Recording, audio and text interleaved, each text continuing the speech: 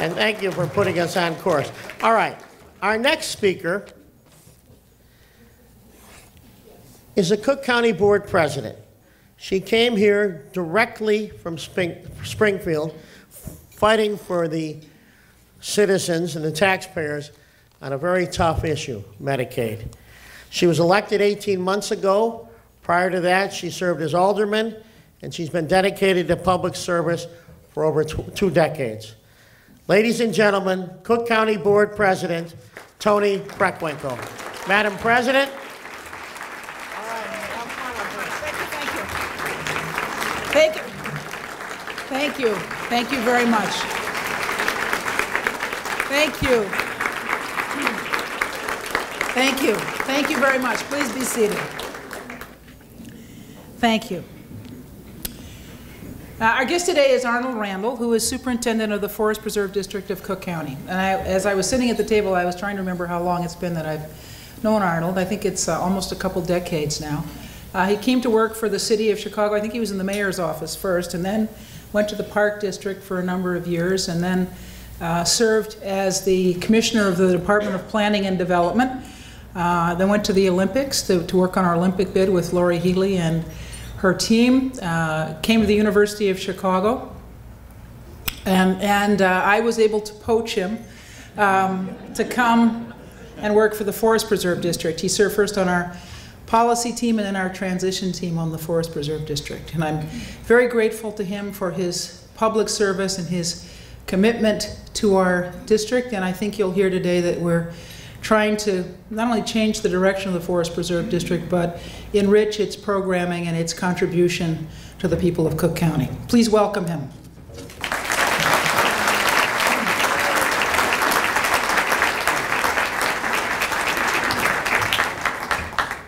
Okay, well, thank you very much, and it is really a pleasure to be here. And it's sort of like a friend, friends and family day here at uh, the City Club. So there's so many people that I've worked with over the years who are here today, so I really appreciate uh, you coming out to hear about what I've been doing lately, which is pretty cool stuff. I again want to acknowledge uh, Forest Preserve Board President uh, Toni Preckwinkle. She's obviously everybody knows her as a county board president, but she's the Forest Preserve Board President, and it's uh, a big deal that I wanted to make sure everybody was aware of that. Um, I want to thank all the other elected officials here today. I want to certainly I'm going to ask our team, the Forest Preserve team, to stand up. We've got our leadership team here.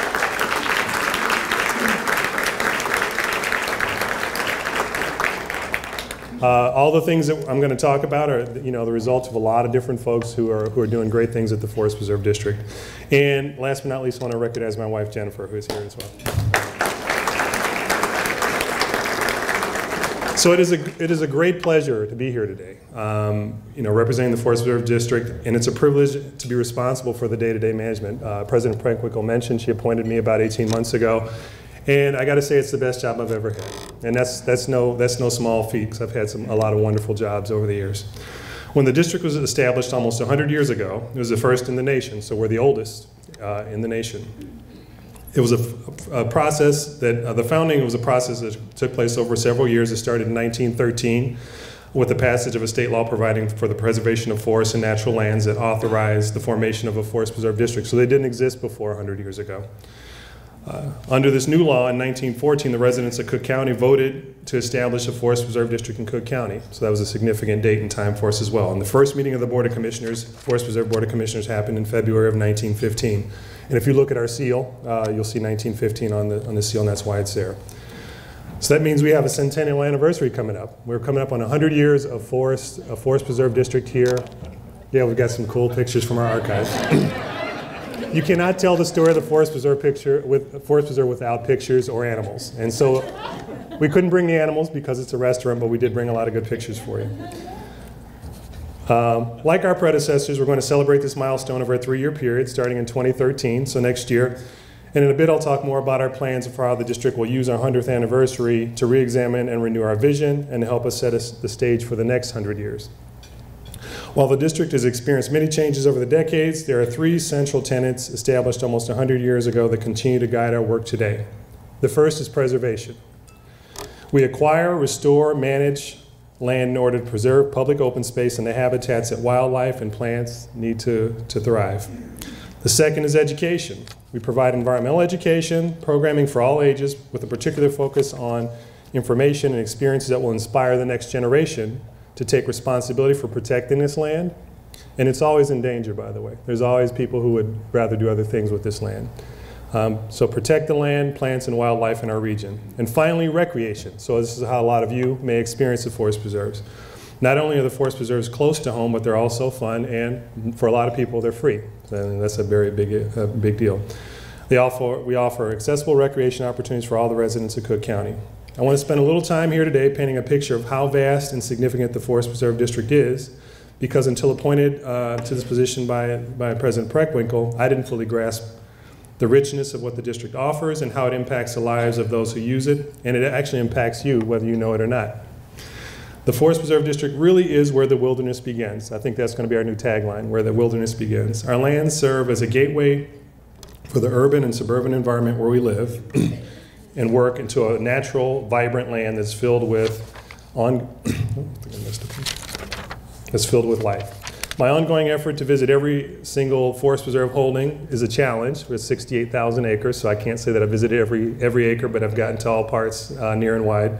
But it's certainly taken me all four corners of this, this large, very large county. And whether it's paddling uh, for miles on the Skokie Lagoons with President Preckwinkle, no, no less, on New Year's Day, um, touring, we've done it twice now, so. Um, touring the pioneer cabins at Sand Ridge Nature Center in South Holland, which are phenomenal.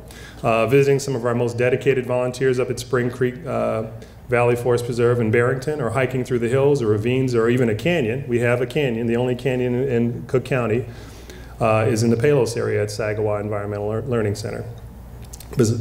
But despite visiting many dozens of sites, there's still much more to see, which I believe is a real testament to just how extensive the Forest Preserve system is. At your seats today, you should have on your table, we've placed a short quiz to test your current knowledge of the forest preserves. If you haven't already, just take a minute. You can fill it out while I'm talking. And while you're doing that, I'm going to tell you a little bit more about, about the forest preserves. Don't feel bad if you don't do well, because it's probably, you're probably not alone. But you're going to get all the answers in my speech, so if you listen. Even if you are among the millions of people who visit our forest preserves each year, I have no doubt there's still plenty to surprise you and excite you about the lands that we protect, the programs we offer, our plans for the future, and all the things that you and your family can do to get healthy, have fun, and enjoy nature close to home, whether you live in the city or the suburbs. With over 68,000 acres, 68,700 and some change to be exact, uh, the Forest Preserve District uh, accounts for 11% of the land in Cook County. So think about that. 11% of the land mass in Cook County is made up of forest preserves. To put that into context, if you lumped all those acres together, they would cover the cities of Peoria and Springfield. But of course, you're not in that one just big uh, green space. The forest preserve system has often been compared to an emerald necklace that rings the city of Chicago and its suburbs. What this means is no matter where you are or work or live in Cook County, you're never more than 20 to 25 minutes away from a forest preserve holding. So it's accessible to you, it's not far. So many people think that you have to travel to Michigan or Wisconsin. I was one of those people, frankly, before I took this job, that you have to go to get into wilderness to go camping. You don't. It's here in your own backyard. It's here in Cook County. Okay, I'm going to beat you over the head with some numbers right now, so get ready. Within those 68,000 acres, spread over 103 miles, the Forest Preserve District of Cook County has roughly 300 miles of marked trails for hiking, biking, horseback riding, and cross-country skiing if we had a winter. You could do that. Um, 22 dedicated nature preserves, 40 managed lakes or ponds, 274 picnic areas, or picnic groves, one wildlife research facility, three aquatic centers, four model boat areas, four snowmobile areas, or five snowmobile areas, six youth camps, seven major waterways, including both the North Branch of the Chicago River and the Des Plaines River, nine model airplane flying fields, and 10 golf courses, which include the George Dunne National uh, Golf Course in Oak Forest, which has been recognized by Golf Digest as one of the premier public courses, not just in the region, but in the country. In addition to the land it makes, and if you golfers, you golfers know that to be true, I'm not a golfer, I just take uh, golf, golf Digest as, as the Bible on that one um, and what everybody tells me who's a golfer. Um, in addition to the land that makes up the district, we also operate six nature centers where we offer free environmental education to children and adults. And it's incredible to watch young people interact. And it would have been incredible to watch you, frankly, if we, we brought our animals today, because people really react in a very interesting way when they see live animals. Uh, and uh, You see that interaction every day at our nature centers. Um, but with young people in particular, you're engaging them at a level with, with nature and with animals, and, and frankly, we're, we're, I think we're changing people's perspectives in their lives in a lot of different ways. Uh, there's a lot to get excited about there at our nature centers. We have interactive displays, nature-based activities, and an opportunity to see wild animals like snakes, turtles, and hawks up close. And two facilities that are among our crown jewels, so I'm going to shock some people here because they won't know this. Um, both the Brookfield Zoo and the Chicago Botanic Garden, and have probably visited many times without knowing that they are part of the Forest Preserve District of Cook County system, and they have been for many years. They are both wonderful examples of public-private partnerships that leverage public dollars to raise private resources to operate, maintain, and grow these world-class institutions. And I think we have both representation from the zoo and from the garden here today, so I want to thank you both for being here. I'm proud to say that we go to great lengths to keep all of our lands safe for the families and individuals that use them. In fact, we maintain a, a, trained and state certified police force that also acts as our own team of park rangers. So they're not your traditional police force. They actually do uh, much more. So if you've been to a national park, they act in that way as well. These officers spend much of their time on trails, riding mountain bikes and ATVs to reach, and serve cyclists and picnickers and walkers, enforce fishing and wildlife laws, Uh, and assist our staff in fighting wildfires. And we do have, we have that issue as well. They're an integral part of the Forest Preserve District. The statistics have shown that our properties are even safer than the communities that surround them. And I can tell you, having visited many, many of our locations, I've never felt more safe than I do in the Forest Preserve District. Now, if you're a city person who's not used to being around nature, then that's, that's a different issue and you have to work with that. But we'll get you educated at the nature centers. But the reality is that they're very safe and you should feel very comfortable visiting the forest preserves. At the district, we have a deep commitment to our responsibility to serve as stewards of the resources that we protect. That's our job. We've got to protect these resources. But that also includes taxpayer resources that fund our work. And it's also the plants and wildlife that grow and thrive on our lands and the quality of life and good health that access to green open spaces provide. That passion and commitment starts with the tr tremendous leadership of President Toni Preckwinkle. So the president, you know, I think the things that we get to do really are set by the tone that she has set in county government and in the Forest Preserve District. We, we are committed to open, openness and transparency uh, and really being, putting, you know, residents first. They're our customers. We want to make sure that people have the opportunity to, to participate in a way that is beneficial to them and that's going to improve the quality of their lives. And she sets the tone. Many of you may not be aware, and I've already said this, that you know the president and the county board of commissioners of Cook County itself also serve as the president and, the commissioners of the Forest Preserve District. So there's we actually have a separate board, and separate board meetings, and separate uh, conduct separate business in the larger county. Uh, we're an entirely separate and unique branch of government, like the Park District is for the City of Chicago, with its own independent taxing authority. And this is important to keep in mind as we talk about the district's budget. President Preckwinkle has provided a clear mandate for reform and accountability both for county government and for the forest preserves. Under her leadership, our critically important stewardship of the land must be complemented by strong fiscal stewardship of the taxpayer resources that fund our work. And we get that. To that end, last year we conducted the Forest Preserve's first comprehensive desk audit that assessed our organization by examining each and every one of our jobs and its operational effectiveness, unheard of for county government. The audit helped us to identify and begin implementing 118 recommendations, so it was pretty thorough, uh, to improve our operations, increase our efficiency, maximize staff and financial resources.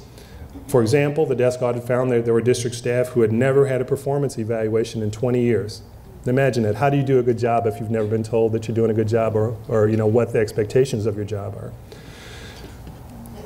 Uh, many people didn't know who the direct managers were. Numerous facilities were without access to computers or modern technology, let alone the internet. So we're taking actions to address these issues with a swift and response in a swift and responsible manner. In addition, we've taken a hard look at our budget. So 92% of our total general operating budget for the district now goes directly to preservation, restoration, education, recreation, public safety, and the maintenance of our trails, groves, and family picnic areas. So the money that we get, the small sliver on your property tax bill, 92% of that goes to direct services for the public.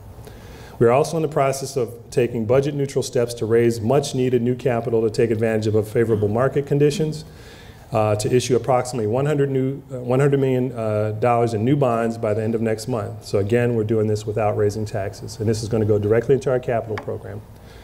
Approximately 25% of these funds will be used to make strategic land acquisitions to fill the gaps in our greenway and trail system and to add to our forests, prairies, and savannas. As the population of Cook County has increased over the years, it's led to a lower percentage of open land per capita than surrounding communities. So although we're the, lou- the largest forest preserve system, serve, uh, largest forest preserve in the, the country, our population growth means we're still not, we don't have the highest uh, amount of open space per capita, so we've got work to do there. We need to ensure that green space will be available to future generations by protecting additional land in the public domain with natural areas fully restored that conserve natural habitats. In 2011, the district acquired approximately 170 additional acres, so that's, that's a step in the right direction, but we think we can do more. We're in the process of updating our land acquisition plan to guide future purchases, and we'll work to fulfill uh, the state, uh, our state statute allowance of up to 75,000 acres. So we have the ability to go up to 75. We'll also earmark a portion of the bond money to address decades of deferred maintenance issues, including repair, very non-interesting, exciting things, but very important things like fixing bridges and plumbing systems and other related needs. These infrastructure improvements will be selected from the, the, deta- the detailed, the details in the district's new, more transparent five-year capital improvement plan, which was developed with public input. So we actually sent our planning folks out to farmers markets. We pu- public meetings. We went out to places where our regular users weren't. So we wanted to talk to the larger public and say, well, what do you think? What do you think we should be, doing? What do you think is wrong, or what do you, what would you like to see more of? And so we went out and we did those over the last several months, and we got great public input on that as well. We also developed uh, online surveys and stakeholder meetings. Uh, to that end, we'll invest as much as $22 million to complete a plan for uh, expanding the district's historic campgrounds. This is a signature project for us. We think that camping is a gateway opportunity for, for residents to, to get into nature and, and deal with the environment. I think if, if most of you, if you raised, if I said, how many of you are involved with camping and has led to your, an interest in nature after that, I think a lot of hands would go up. Uh, and so frankly, if we don't expose people to nature through nature centers or other ways early, then we lose them and they don't show an interest in what's going on. And so we think camping is a big deal, a very big deal. It's something that we used to do and we want to do more of moving forward. And I'm going to talk more about that in a few minutes. And at the Brookfield Zoo and Chicago Botanic Gardens, our bond funds, so we, we, we are, because we are partners with the zoo and the garden, we also recognize that we need to be uh, partners with money as well, not just saying we're partners. So we've, uh, we're pledging out of this $100 million uh, that, that we hope to get through these bond deals, that 15 million of that go to, uh, to the zoo and the garden uh, for capital improvements at both those locations. Finally, these bond proceeds will also fund new projects such as additions to recreational offerings that will introduce new people to the forest preserves, promote a health, the health benefits of outdoor recreation, and provide new sources of non-tax revenues. To that end, we're working on a to develop a new recreation master plan. So we're big on planning now uh, in the forest preserve. So we, you know, there's a lot of things to do, and there's probably more that you could do than you can do if you just sort of try to sit down and think about it. You actually need to have a plan. So the recreation master plan is the next big plan that we're undertaking. It's actually starting this week.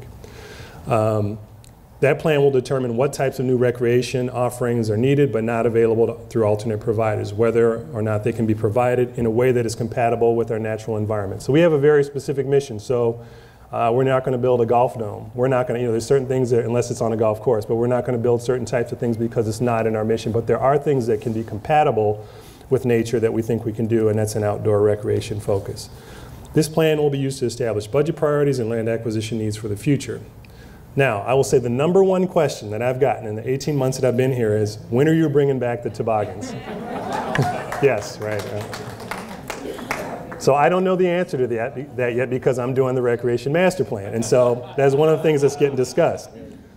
Um, some of the new recreational uh, features that have been suggested so far, though, are things like zip lines, ropes courses, additional mountain bike trails. Mountain biking is very big out in the south suburbs in the Palos area. Uh, outdoor concert venues, disc golf, dog parks, cross, more cross-country trails, and yes, even toboggans. So there's a possibility, but we need to investigate it and really think about it. Historically, the district has strived to achieve an 80-20 balance, with the 80% of our land being kept in as natural a condition as possible and 20% available to, uh, for compatible recreation. We anticipate that this ratio will continue even as we explore new opportunities. Again, at this point, we've not any, made any firm commitments or decisions, but we're exploring a wide, wide range of exciting options that can, we can implement in a fiscally responsible manner, budget neutral, no tax increases, and in a way that's not detrimental to our natural holdings. While we're looking hard to be, we're working hard to be good fiscal stewards, we're also expanding our efforts to raise the public profile and awareness of the district. So I'll tell you the other big thing that I hear is forest preserves? Is that the parks? Or what do you guys do? What's that all about? Um, that's pretty common in the city of Chicago, and so we know we've got some work to do there. This, that's why I'm glad Jay invited us, because we want to talk to people in the city about what is available and what the forest preserves are really about. Um, we want to connect and encourage all Cook County citizens, and particularly our families and young people from the city, to visit our lands and take advantage of as many programs and services we provide to help residents stay healthy, learn more about the natural ecology of our region, and to become ultimately active stewards of the environment. The district is a vital resource that supports good environmental health throughout our region. Our lands comprise the largest clean air resource in the region, cleansing and cooling the air we breathe. The forest preserves also are the region's greatest rainwater retainer, absorbing, cleaning, and evaporating hundreds of millions of gallons of rainwater in the fall of the county each year, protecting hundreds of thousands of homes and businesses from flooding. Now, a lot of suburban leadership would say, we want you to do more of that. We'd like you to take all of our rainwater. Well, we can't do that without damaging our ecology, but we, we do a lot already, we believe. The preservation and environmental protection work of the forest preserves is essential to maintaining and enhancing the region's native biodiversity and health and facing increasing urbanization. So the more we build, the more important the forest preserves are, the more we have to protect them. Habitat loss, environmental pollution, and the introduction of and the spread of invasive plant species. One of our biggest responsibilities is to protect the open lands under our stewardship by using resource management, a resource management philosophy that ensures the preservation of irreplaceable natural resources through the science-based practices such as soil conservation, controlled burning, and an, an, important ecological tool to reduce and eliminate invasive species that threaten the native state of our land. So, uh, you know, prescribed burns and, and controlled burning is a big thing that we do, uh, and sometimes controversial thing that we do, but it really helps to restore the environment and the ecology of those areas. The Forest Preserves work in this regard is implemented by our highly skilled resource management team, so that's a big part of our staff are people who do that kind of work, and supported by thousands of volunteers. Now I got to say, on volunteers, and, and Kathy Wurst, our head of our volunteer program, is sitting up here as well. Uh, when I came to the Forest Preserve District, I had no idea that there were people working every day of the year, including those 10 degree days, out cutting buckthorn and pulling garlic mustard and doing, and doing all kind of cleanup work in our preserves. It's incredible the amount of talent and the tenacity that these folks have. And so uh, we want to continue that relationship and continue to grow that relationship. Um, I've had the pleasure of meeting and walking through a lot of these preserves with these volunteers, and I said, you know, some of these folks have been doing this for 20 or 30 years. A great and timely example of our work, uh, example of our work to protect and preserve the natural lands of our county is the bald eagles nest in Tampier, Slough, and Palos. So we've gotten a lot of press on the eagles. People are really interested in eagles. And I learned more about eagles in the last month than I ever thought I would know. Um, we believe this is the, to be the first verifiable site in Cook County uh, where eggs, eagles have, eggs have been laid and hatched in more than a century. So we see eagles flying through, we see eagles doing different things, but we've never found an eagle's nest where the, the eggs were hatched. And the, now out in that area, you'll see eagles flying around all, all summer until they migrate later in the fall. That's a big deal, and that's a big deal for environmentalists. The fact that bald eagles have chosen to nest here is a testament to the success of our environmental stewardship. It also reflects the fact that there's a growing understanding among the general public, which is part of a larger environmental, environmental movement. People are being more respectful of their natural lands. They're starting to, to get why that's important and the wildlife is responding by returning to these areas. For example, fishing is prohibited in parts of the preserve to, pro to provide a vibrant fishing habitat, a habitat for the fish. The fishermen of this community have respected this regulation. Eagles now depend on these fish for the bulk of their diet, so it's all connected. If this food source wasn't available to them, then they would nest other places. They wouldn't nest in our area. These eagles have an incredible impact on the county. Since we announced the location of the nest almost six weeks ago, thousands of people have lined up along 131st Street to get a glimpse of the birds. I have personally learned, like I said, I've personally learned more about bald eagles than I ever thought I would know.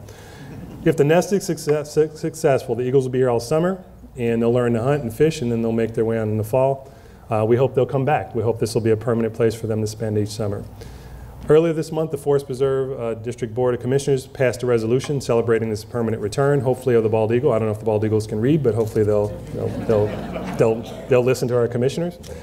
And uh, along with the joy and inspiration that these eagles bring. Now I got to tell you, so I'm not a birder, but I'm learning to be a birder. But I was very inspired when I went out with my, my, my binoculars and saw these bald eagles nesting, and it was very impressive to see. And so seeing nature in its purest form like that is an inspiration as part of the reason that we're doing what we're doing here. Um, In addition to our own efforts, notable academic and science re- scientific research is also being conducted. So we do some research, but we actually have a lot of universities and partners who do research on forest preserve property. Uh, we recently held our first science and research symposium to showcase the very important role we play as a biological field station for significant research and analysis. It was attended by more than 250 researchers, university partners, students, volunteer monitors, and others who spend time learning and interacting and collaborating with one another on such, such topics as archeolog- the archaeological work being done on our lands, the urban coyote study we conducted, and my personal favor, favorite, how beavers assist us in natural stormwater retention. Much cheaper than building our own dams. it was actually pretty interesting stuff. Uh, um, when I started my presentation today, I outlined, I outlined three tenets of the Forest Preserve District preservation, education, and recreation all equally important, but our educational and recreational offerings are perhaps the most familiar to Cook County residents. We offer a wide range of public outreach initiatives, education programs for children and families across Cook County, both for the city and suburbs, including a robust ecology curriculum for students. So last year, our nature centers, which really are a real strength for us, our nature centers are a wonderful place to visit. Uh, if you have kids, if you don't have kids, if you just want to take a walk, you'll learn a lot. And the staff there are phenomenal.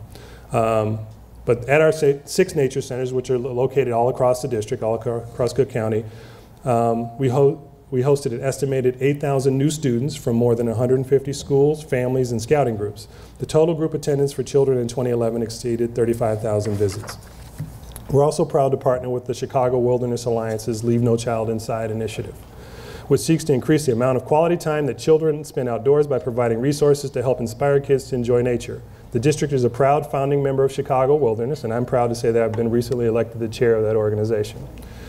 Uh, it's a regional alliance of more than 250 organizations that work together to restore local nature, and it includes partners like the Park District and Open Lands and a lot of just you know very strong uh, open space advocates. And we're all band together to sort of to, to fight for you know to restore our local nature and ecology and make sure that we, we're taking care of our environment. But other programs, uh, that more of you, you may know about, things like Fishing Buddies and the Mighty Acorns and our Teen Adopt a Site and our Teen Lear Service Learning engage more than 4,000 students from 35 schools and groups in learning about and caring for the forest preserves each year. These kinds of experiences are so important because they not only are fun, but they also teach children about ecology, you got a lot of good pictures in there, right? Um, and importance of protecting our natural lands and to give them the tools to become committed stewards of our environment. If we don't introduce them young, this will be a theme. We don't introduce them young, we lose them. We need to get people introduced young. Now, I asked everyone in the room, if I asked everyone in this room to share with me their favorite outdoor adventures, many of you would discuss a camping experience that you share with your family or friends. So let me see a show of hands. How many of you have done a family camping experience in the Forest Preserve District in recent years? Family camping. Should be zero because we're not doing family camping in the forest preserve.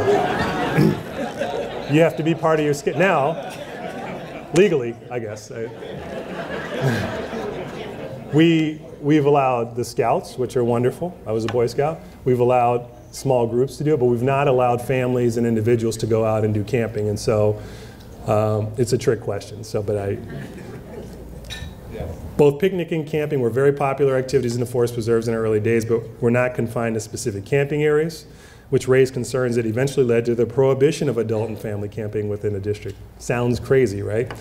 Um, currently, adult and family camping is prohibited except for a few designated sites, and that's really relegated to the scouts. Finding ways to open up our forest preserve to provide urban and suburban families from Cook County with safe camping experience that's close to home could represent a real opportunity for us to broaden and reach our effectiveness moving forward.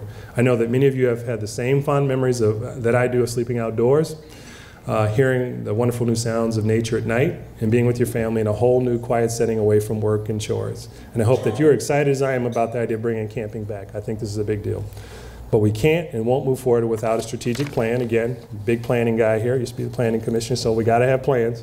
Um, and so this is one of our big initiatives now. We're right in the middle actually of this camping master plan. We did a lot of public outreach. I think we got close to 1,500, uh, 1,300 responses from the public online. We, we've done some, uh, some things as well to, re, to reach out to key partners on this as well. All this sets the stage for what's to come at the, the Forest Preserve District, which is, is an exciting but critical juncture as we approach our centennial. The Forest Preserve founders, visionaries they were, probably didn't anticipate all the issues we're dealing with today with respect to global, global warming. I think they probably did know about sprawling urban growth. I think they probably figured that out. but public health issues, obesity, asthma, and new economic realities. So these are things that we need to take on moving forward. The 100th anniversary of the Forest Preserve District provides an opportunity to re-examine and renew our vision. We've been actively looking at this and helps us set the stage for the next 100 years. We hope to soon announce uh, the creation of a joint task force between the Forest Preserve District and the leadership of key open space organizations and civic organization- organizations to plan for our 100-year anniversary.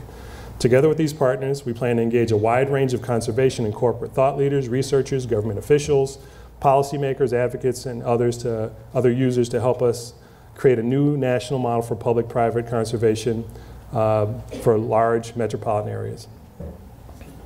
Together, we will consider that role, the role that the Forest Preserve District and its conservation areas play in economic vitality and quality of life in our region. We also explore how efforts should be improved, programmed, financed, and managed under new conditions not imagined a century ago. But we can't do this without all of you. We all have a stake in our public land. This is ours. You all pay for it. If you live in Cook County, you're paying for it. This is your land. We must all be committed to saving and restoring these rare natural communities in our region. I want to thank you for the opportunity to share this information about the Forest Preserve District, and I'd like to invite you to join our mission to promote preservation, education, recreation in our lands by taking three actions when you leave here today. First, support our mission of preservation. We're proud to provide each of you with a purple uh, cone flower, so you should have some seeds at your desk. If you got a yard, plant them out in your yard. This, this is the this is the official uh, flower of Cook County. If you didn't know, now you know. We encourage you to find a spot in your garden where a planter, where you can you can uh, this Illinois prairie plant can bloom into a beautiful daisy-like flower. And if you want to get involved, there are lots of opportunities for individuals, companies, and organizations to support our work through volunteer activities. Kathy Worster that can be implemented as part of our summer picnic uh, or event held in the forest preserves. And you can check out our website at www.fpdcc, forest, or you can Google us, Forest Preserve District, Cook County, and you can get more information on how to volunteer. I hope you learned something new today. I imagine that it's not possible that you didn't. I'm, get, I'm going to get the hook here in a minute. Um, I'll just wrap it up by saying uh, I have the best job in county government except for my boss right there. Uh, and because uh, I get to go out and be part of this nature every day, and we're very fortunate to have it. I really want to encourage you to come out and see what's available to you. And thanks for your time today.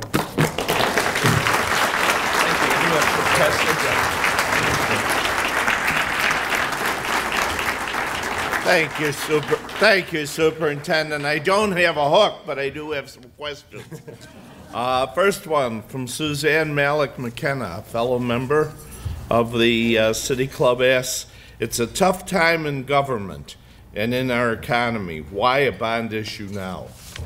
It is, it is a tough time in the economy. Uh, we are in decent, the, the Forest Preserve District is actually in decent financial shape. And we're, again, we're a separate taxing body from the larger county, so we have the resources available. We want to take advantage of a historically low interest rate uh, to refinance some of the existing debt. We're not raising taxes, we're not proposing raising taxes, but we're going to take advantage of refinancing some of our debt. And we also want to take advantage of revenues that come into us already that we could use as alternate revenue bonds to support capital improvement. The reality is, is that there are a lot of things that weren't done in the district with respect to taking care of properties over the years that need to be done. They're not going away. Those issues have to be remedied. They have to be dealt with. We think this is a fiscally responsible way to do that, and we think there's a lot of work that needs to happen. And frankly, that will help to draw new users, users into the district. Very good. Okay. Patsy Benveniste of the uh, Chicago Botanic Garden asks, does the Forest Preserve recognize that, quote, a nature deficit disorder is a huge issue for Cook County families? If yes, how do you, uh, how does this issue rank in your priorities? Um, this is a big priority. I, you know, I live in the city, uh, city dweller my whole life, and this is a conversation the president and I had, you know, a while ago about how do we reach out to urban youth because the reality is if you live in the built environment and you don't see much green space and you know you got the parks thank god or you go completely crazy i guess but um, getting young people out into nature and families out into nature really does change your perspective on things and the more we can do that either through camping or, or nature centers or hikes or uh, other programming uh, the better off we're going to be. There clearly is a deficit disorder. In fact, I spent some time with the Bot Botanic Garden staff yesterday out at the, Cook, the Sheriff's Cook County Boot Camp where we are participants and we help, we donate materials and they do a lot of work out there. Those young people had never, and I talked to some of the young people working there, they had never done anything like what they're doing there with respect to working and gardening and that sort of thing. And it's changed their perspectives we need to catch people before they get to that point and get them involved in nature, and it will change their perspective and give them some different, uh, different opportunities. Thank you. Thank you, Superintendent. Finally, we talked a little bit earlier about the uh, Chicago's proud history with the Special Olympics, and uh, I have a question. What programs do you have for children and adults with special needs in the Forest Preserves? So part of what we want to do through this recreation master plan is we want to do, uh, we want to look at where we're, where we're short with respect to dealing with people with disabilities and special needs. Uh, There are opportunities, just like for every other child, at nature centers. They're accessible, so there's certainly opportunities for, for people with special needs or special disabilities to come to our nature centers and participate in those programs. Um, But we want to do more. We think there's opportunities to do more. So there, we're certainly looking at through our ma- our recreation master plan and our, all our other, all of our other initiatives as well. Um, We're certainly looking at how people use our picnic groves. Uh, They're not all accessible either. There's, there's opportunities there to make them more accessible for if you want to do special events and you have people with special needs, how can they use those more efficiently as well? So a lot of room. We've, I feel like we've made some really good progress. I think we've got a lot of work to do yet and certainly, you know, look forward to working with all of you. Thank you. Yeah. Thank you very much, Superintendent. Okay.